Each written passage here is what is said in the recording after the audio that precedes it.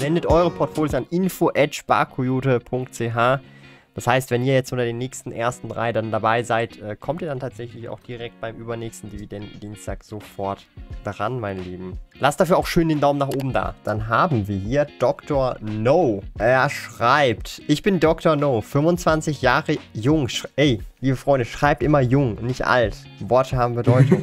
2015 hat er Geld geerbt, doch leider erst im April 2020 den Schritt an die Börse gewagt, also direkt während dem Corona-Crash. Geldanlage war in seinem Elternhaus eher negativ belastet, da sein Vater Anfang der 20er, äh, 2000er Jahre ca. 200.000 mit dubiosen Immobilien und Hedgefonds verloren hat. Okay, das tut natürlich weh. Die Corona-Pandemie schien ihm ein guter Zeitpunkt zu sein, seine eigenen Erfahrungen zu machen. Der Investment Case bestand zunächst lediglich auf die Kurserholung nach Rona.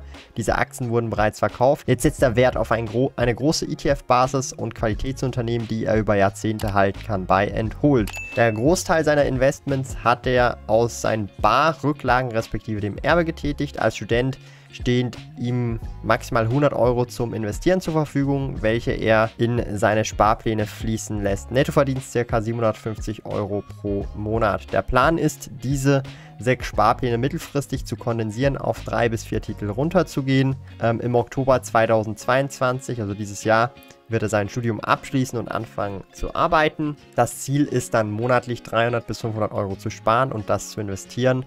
Das Studentenleben hat sich, also hat ihn zu einem sparsamen Menschen gemacht.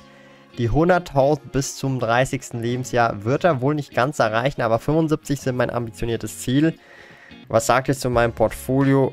Was wären interessante Branchen, die mir noch fehlen? Konsumgüter? Ja, ich weiß. Er freut sich auf den Input und den objektiven Blick auf unser Portfolio. LG Dr. No. Ich finde das immer äh, so äh, faszinierend. Das ist mir mhm. als allererstes aufgefallen hier mit, mit dem Elternhaus, weil bei mir ist es nicht so ähnlich, also mütterlicherseits. Ne? Von, mhm. von der Mutter kommt also bei mir so ein bisschen dieses Ah, Geld Auch allein. Nee. worden von Hedgefonds, oder? Ja, ja. Also, nee, von, von, ja, äh, nee, das ist wahrscheinlich kein Hedgefonds gewesen. Das ist wahrscheinlich einfach nur irgendein Fonds verkauft von der Bank. Mhm.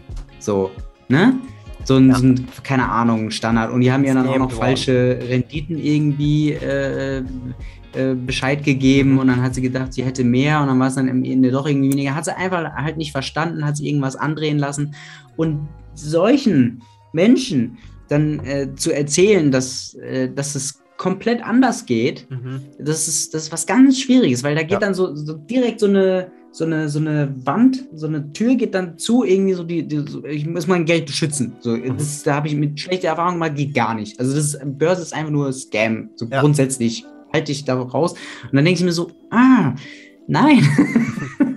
nein, so ist es auch wiederum nicht. Ja, man muss es differenzierter betrachten.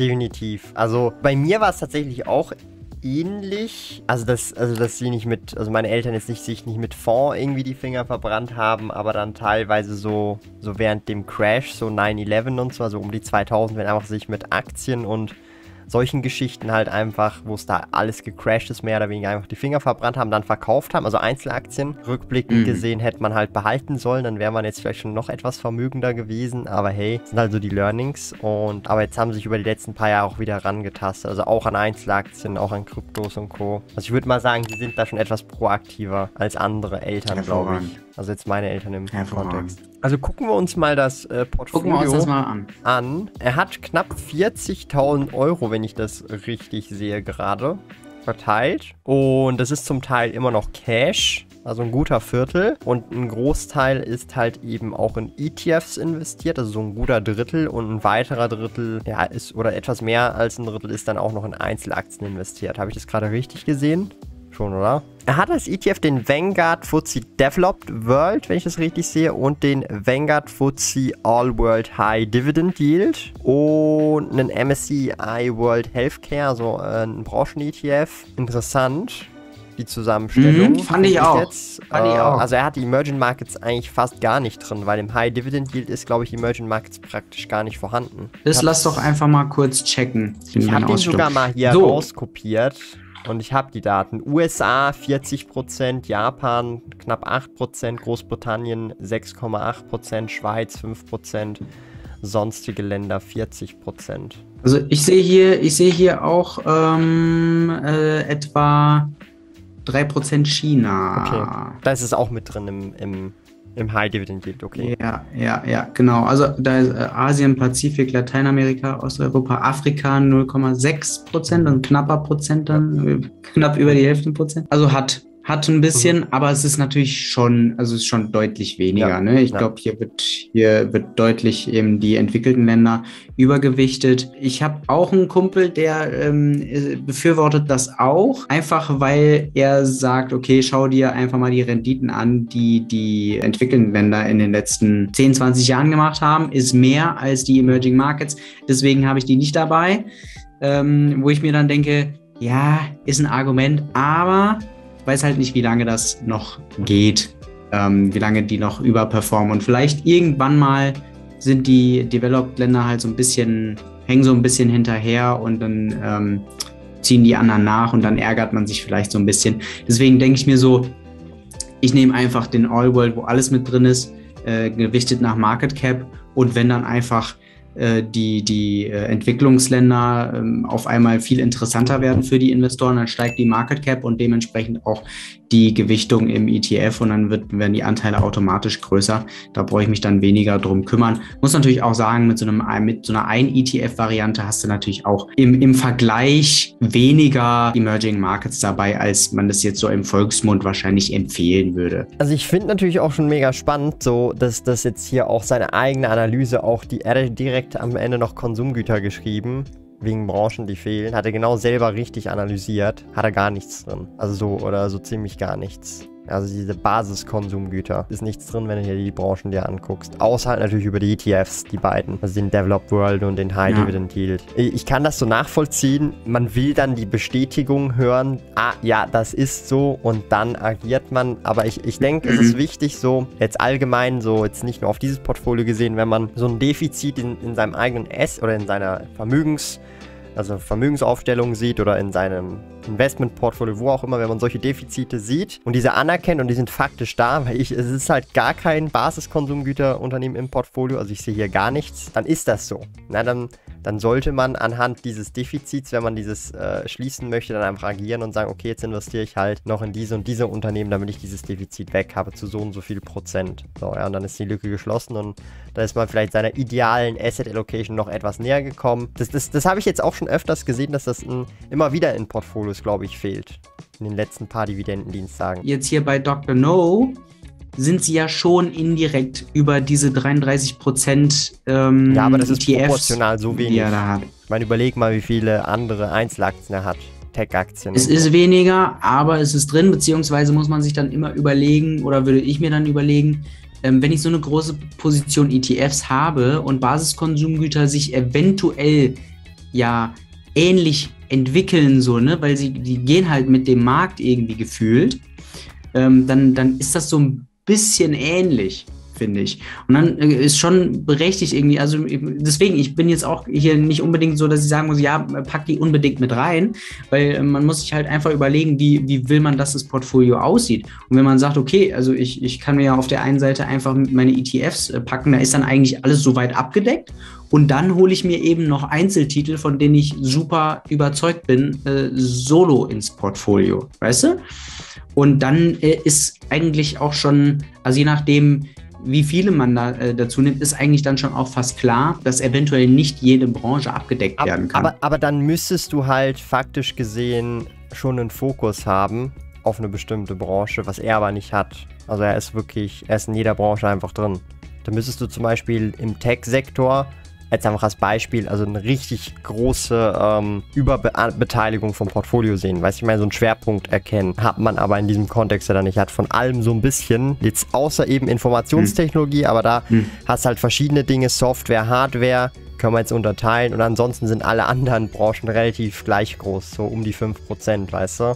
Da müsste man fairerweise sagen, er bräuchte einen Fokus, weil hat er aber nicht, weil er grundsätzlich um die 5% in hm. jede Branche investiert. Hm. Also ich möchte einfach mal ein Beispiel geben, wenn man bei mir guckt, hm. sieht man halt, Tech ist ein riesiger Chunk. Bei mir ist beim gesamten Investmentportfolio fast 30% in Tech und ganze 16% in Konsumgüter. Das sind meine zwei größten Branchen mit Abstand und zwar mit riesigem Abstand. Alle anderen Branchen sind zwischen 2 bis 4%.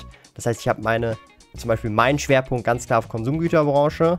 Und zwar äh, Basiskonsumgüter und halt eben ähm, Tech. Da habe ich dann mhm. die Schwerpunkte. Und das ist halt so ein bisschen so ein Punkt, denke ich. Das, das muss man dann schon entscheiden, weil äh, so wie ich das halt rauslese, fragt er halt, er möchte jetzt halt möglichst vieles Verschiedenes abdecken. Die ETFs hat er als Basis und dann noch weitere Qualitätsunternehmen. Und darum denke ich, also wenn dann die, der Fokus oder wenn man halt eben so wie das jetzt da macht, ungefähr die 5%, 5-6% pro Branche, dann sollte man schon gucken, dass man möglichst äh, diversifiziert in die Branchen reingeht. Also ich möchte jetzt noch, er hat ja 40.000 gerade investiert. Also 40.000 hat er gerade an Vermögen, Cash und seine Investments, wenn man sich das mal anguckt. Und er schreibt ja, sein Ziel bis zum 30. Lebensjahr ist eigentlich 100.000, aber das wird er wohl nicht ganz erreichen. Darum sind 75.000 sein Ziel. Er ist jetzt 25 Jahre jung. Nehmen wir jetzt mal an, 5 Jahre, das sind 60 Monate, oder? Nehmen wir jetzt aber an, er hat gesagt, er ist mit dem Studium fertig Ende dieses Jahres. Nehmen wir jetzt an, 4 Jahre, das sind 8, 50 Monate, um es einfach zu rechnen. Oder das sind so 4 Jahre knapp. 50 Monate. 50 Monate. Äh,